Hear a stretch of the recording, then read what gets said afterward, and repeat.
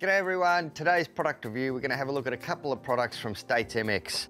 It's a rubber replacement fuel hose which is quite necessary sometimes when they do get frail and busted and an OEM replacement disc. Now a few things about these products. The States MX OEM replacement wave disc will fit genuine or aftermarket wheel sets. They're made from the highest quality T420 stainless steel and assure perfect flatness. These wave rotors provide maximum stopping power and better brake feel compared to most other discs on the market. They retail for $89.95 each and fit most late model MX and Enduro bikes.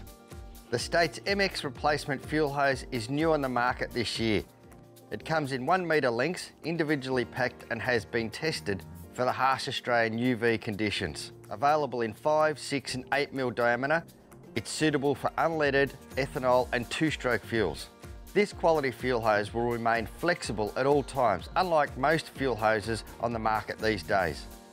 Retailing at $14.95 a roll, it's handy to have around the home or in the toolbox for those quick repairs.